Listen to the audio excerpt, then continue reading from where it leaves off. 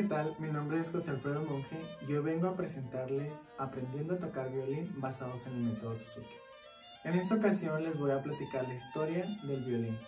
Este instrumento es el violín. Este instrumento es de la familia de la cuerda frotada. Existen muchos instrumentos de cuerda, sin embargo no todos son de cuerda frotada. ¿Qué lo denomina cuerda frotada? Esta parte de aquí es el arco.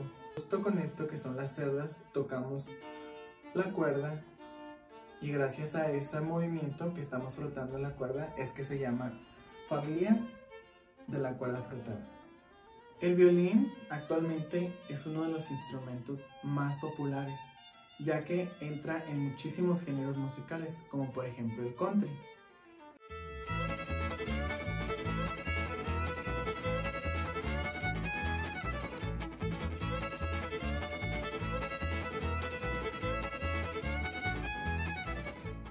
También, por ejemplo, ha sido muy utilizado en la música mexicana, como lo es en el mariachi.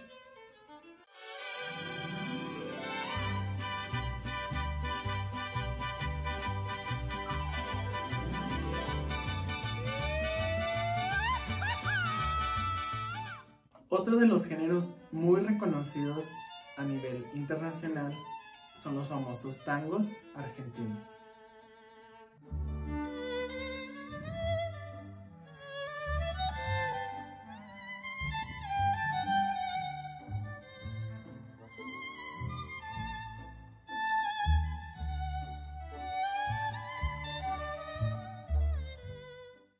Por qué no recordar también la música más actual, un poco de pop con violín.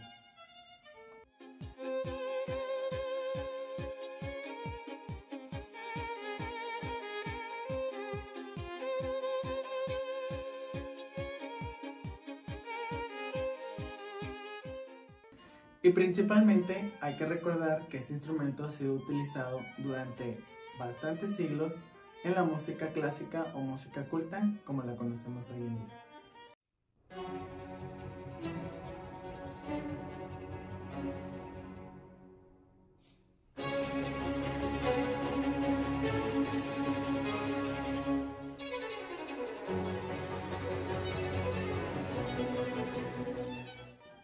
Claro, este instrumento ha sido importante dentro de muchísimas culturas del mundo, muchísimos géneros que podemos disfrutar gracias a este instrumento. Como dice en el título del video, en esta ocasión les voy a platicar un poco de la historia del violín. El violín realmente no tiene un antecedente en sí. Han sido tantos los instrumentos que lo anteceden que se puede decir que el primer instrumento parecido a esta cuerda frotada viene desde hace 5000 años antes de Cristo.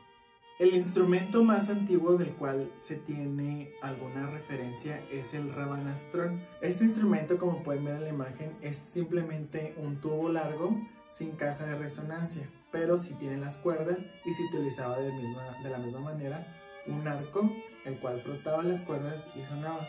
No tenemos sonidos actuales debido a que es un instrumento demasiado antiguo. El siguiente instrumento se denomina rabab, originario principalmente de Arabia, aproximadamente del siglo IX. Estos instrumentos en que es lo que los identifica o los hace familiares del violín es que se tocaban con el arco principalmente, eh, frotaba la cuerda, sin embargo la, afinación era bastante diferente a lo que conocemos actualmente. Posteriormente tenemos el rebec, y la biel. El rebec es un instrumento español y la biel es un instrumento francés. Son muy parecidos, ambos tienen la caja de resonancia, sin embargo no tenían todavía las ejes tan características del violín, pero sí se utilizaba el arco y solamente se tenían 3 a 4 cuerdas en el instrumento, no como las 4 que tenemos en el violín actualmente. No fue hasta el siglo XV en Italia surgió la viola di braccio o de brazo. Era un instrumento muy parecido al violín, ya tenía las características Fs, sin embargo la forma era un poquito más ancha de, la parte de abajo del violín, lo cual lo hacía sonar un poco diferente y tenía entre una hasta siete cuerdas. Variaba según la, zona o la región de Italia. En Italia se le conoce como la cuna del violín, fue donde principalmente se desarrolló. En el mismo tiempo que se estaba desarrollando el violín, coexistió la viola de braccio o de brazo. En el cuadro La Madonna de los Naranjos de Gaudencio Ferrari es en uno de los cuadros donde por primera vez aparece un violín, un violín de tres cuerdas como eran anteriormente. En esta pintura podemos apreciar un violín, también una viola y un cello. Esos instrumentos son algo antiguos, no son en definitivamente los violines o violas que conocemos actualmente. Sin embargo, ya podemos ver los antecedentes de este instrumento. Esta pintura se encuentra en la iglesia de Sacromonte. En este cuadro, como podemos ver en la parte derecha, se nota a un músico tocando un violín. Este violín todavía es de tres cuerdas y es donde tenemos antecedentes del violín. Actualmente este es el instrumento como lo conocemos. Ha sufrido algunos cambios desde que fue creado. Gasparo da que vivió en 1549-1609 aproximadamente, fue a quien se le atribuye el violín como se conoce actualmente. Sin embargo, hay que recordar que estamos hablando de los años de la época barroca. En aquel entonces, el instrumento era un poco más ancho de esta parte y el diapasón era un poco más corto. Claro, ha sufrido algunas modificaciones. Sin embargo, hoy en día todavía existen violines de estas épocas, como por ejemplo los Guarneri, que han sido unos violines muy famosos, muy reconocidos, los Stradivarius de Antonio Stradivari, los Amati. Esos instrumentos son aproximadamente del año de 1650 a 1750. Actualmente esos violines son valuados en millones de dólares. Solamente los tienen las instituciones más importantes del mundo o algunos violinistas que pueden pagar. En el violín, la mayoría de sus piezas está hecha de madera. Este instrumento actualmente consta aproximadamente de entre 69 a 70 piezas para formarlo.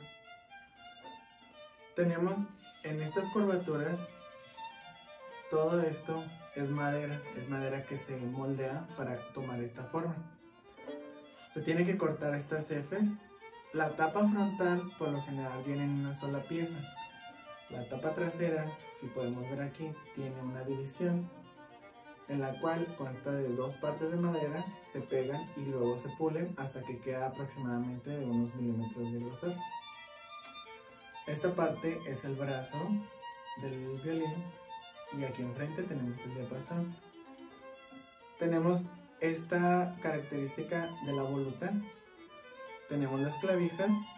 De esta parte tenemos un microafinador afinador.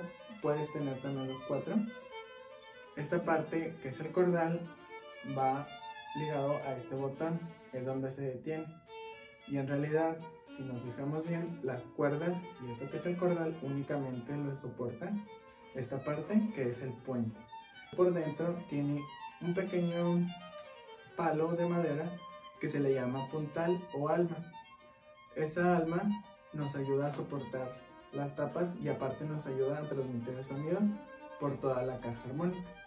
Y una pequeña barra que está aquí en el interior nos ayuda también para que el sonido entre a la caja y logre salir mediante estos cifras. Este es un instrumento tan pequeño pero que fácilmente puede llenar un teatro sin la necesidad de tener un micrófono. Esto ha sido todo por hoy y recuerda, si te interesa seguir aprendiendo de este maravilloso instrumento, sigue este proyecto aprendiendo a tocar el violín basado en el método Suzuki. Nos vemos hasta la próxima.